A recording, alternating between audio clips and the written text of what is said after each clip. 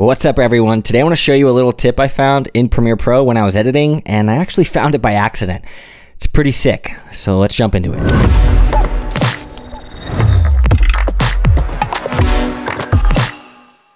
We're in Premiere and I'm about to blow your mind. Let's say you have some B-roll or footage that you are messing around with.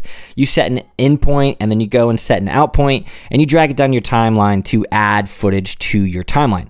But check it out. If you drag it to your program window, wow, I was mind blown the first time I saw this. You have a ton of different options like insert before, insert after, insert, replace, overwrite, and overlay. What do these do? Well, you might be saying like, hey, Kyler, we already have these overwrite and insert down here. Like if you click insert, it inserts the clip. If you click overwrite, it overwrites the clip over the current clip you have.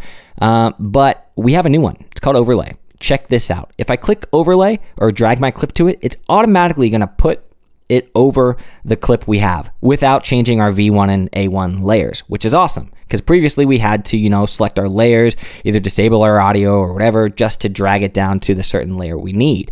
But with this, we don't have to mess around with anything. One note, when using this technique. If you don't want audio and let's say we're just adding footage to this clip, deselect your A1 layer and simply drag over to overlay.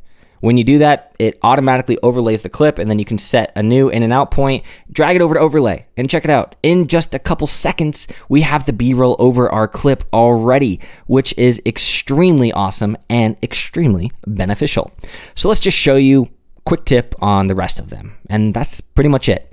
When you drag over your in and out point from your source window, you'll see insert before. Drag it onto there, it simply inserts that clip before this clip. Now keep in mind if you select A1 again, it's going to attach it with the audio.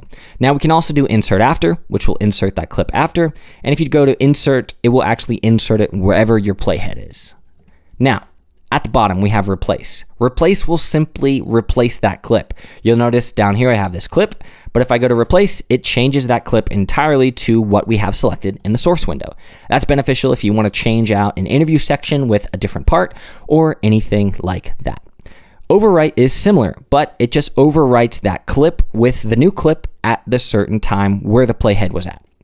Now, insert works like insert has always done. It will insert that clip in where the playhead is at. But using these functions, you'll be able to customize your footage in your timeline quicker than easier than ever. Lastly, when you're working with a lot of clips and stuff, the overlay function is my favorite thing because it doesn't matter how many stacked layers you have. If you're over this clip and you go to overlay, it will put that all the way to the top. So this is a time saver because you don't have to adjust the V1 layers anymore. It will simply always put it to the top, no matter how many layers you have with in and out points. It saves time by simply clicking and dragging to one section, then clicking and dragging and fumbling around down here. Hopefully you learned something. If you did, let me know down in the comments below. If not, then I'll be better next time. But I know you guys like shorter videos, so let's keep trying to make these short. Peace.